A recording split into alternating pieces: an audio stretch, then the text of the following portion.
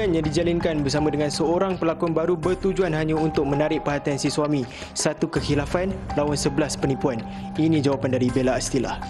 Selama 10 tahun dah masuk 11 tahun Bella berkenalan dengan Alif. Inilah satu-satunya kesilapan Bella. Benda ni tahun lepas kita dah tutup kes. Alif dah memaafkan Bella. Bella dengan Muaz pun dah tak berkontak. Ada bukti. Alif pun dah rasanya ada closure dengan dia dah. Tak ada niat Bella untuk buka aib sesiapa tapi disebabkan mereka mulakan dulu. I have to stand up for myself. Cukuplah Bella berdiam bertahun-tahun. Even after kejadian kes kawat pun Bella tak ada bagi apa-apa statement. So I think that's it lah. Cara Bella bercakap sekarang ni yang benda tu datang daripada Alif Aziz sendiri. Ah, ya betul. Sebab Bella ada tunjukkan bukti tadi. Ha, okay, boleh nampak kat sini. Masa ni dia ada WhatsApp founder lah.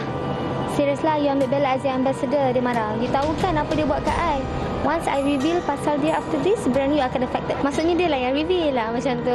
Dan mungkin dia dah terlalu malu sangat untuk kes khalwat tu. Bella dah boleh expect ini saja yang diorang ada. People nowadays tidak bodoh. Diorang tetap akan ingat kes khalwat tu. Jangan cuba menutup lah ataupun menjatuhkan Bella. Bella percaya kuasa Allah tu lebih besar. For the past 10 years Bella bersama dengan Alif. Dah 11 kali Bella dicurangi. Kenapa Bella bertahan walaupun orang cakap Bella bodoh. Bella rujuk balik walaupun keadaan Alif tak okey. Sebabnya Bella sayang lah dan Bella nak keluarga Bella tu lengkap. Aiden Ara ada mami daddy. Tapi tidak cukup kalau Bella bertahan bersorangan dan Bella dah penat berjuang habis-habisan untuk mempertahankan rumah tangga ni. Sekarang hujung-hujung Bella pula yang nak diaibkan sedangkan Bella jaga Alif cukup baik. Macam orang kata kalau Bella sendiri pun buat benda yang sama apa beza Bella dengan Alif? Apa agaknya Bella boleh kata?